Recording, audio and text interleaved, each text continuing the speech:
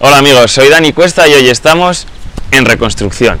Porque en nuestra vida hay un montón de dinámicas y un montón de actitudes que necesitan reconstruirse. Un montón de dinámicas que no nos dejan ser felices, que nos impiden conseguir nuestros sueños, que hacen que no seamos la persona que tenemos que ser y que en el fondo también hacen que las personas que tenemos a nuestro lado tampoco puedan ser felices.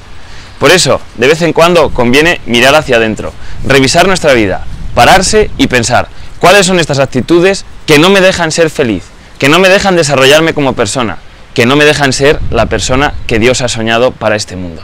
Pararse, mirarlas, revisar e intentar poner medios, intentar reconstruir aquello que se ha derrumbado.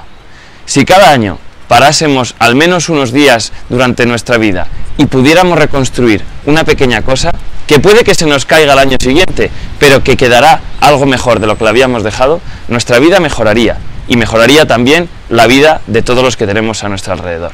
En el fondo es lo que llamamos la conversión, mirar hacia adentro, reconstruir e intentar ser mejores personas, mejores cristianos.